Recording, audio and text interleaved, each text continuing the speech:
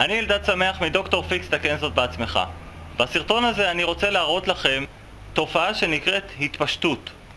זו תופעה מאוד מאוד שכיחה, היא קורית כל הזמן, אבל יש לנו נטייה לא לשים לב אליה, והיא יכולה להוות שיקול כאשר אנחנו בונים כל מיני דברים. ומה התופעה הזאת?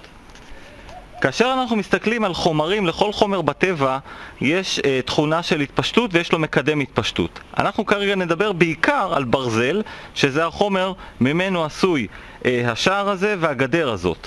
לברזל יש אה, מקדם התפשטות מסוים ובעצם מה שזה אומר זה שבחום הוא מתפשט, הוא גדל ובקור הוא מתכווץ.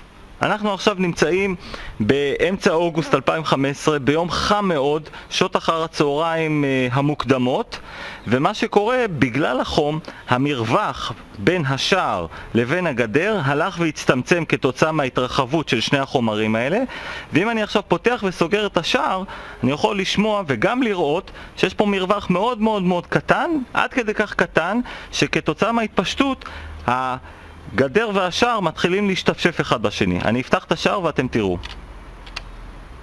אתם שומעים? הם נוגעים אחד בשני כתוצאה מההתפשטות.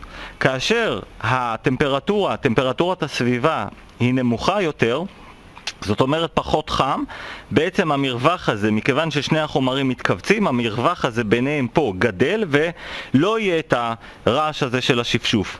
אז בעצם בעוד כמה שעות כשהחום טיפה ירד אנחנו נצלם שוב את ההמשך של הסרטון ואנחנו נראה איך שכבר אין יותר את החיכוך הזה ואין את הרעש הזה של החיכוך בין שני החומרים כתוצאה מההתרחבות שלהם. אוקיי, okay. עברו כמה שעות החום קצת ירד, אתם רואים כבר השמש לא על השער ובעצם מה שקרה, בגלל הירידה של הטמפרטורה הברזל התכווץ חזרה. איך אנחנו יודעים? אם אנחנו עכשיו נפתח את השער קודם אתם זוכרים שהיה פה מרווח מאוד מאוד צר והיה חיכוך. ממש שמענו אותו, את החיכוך.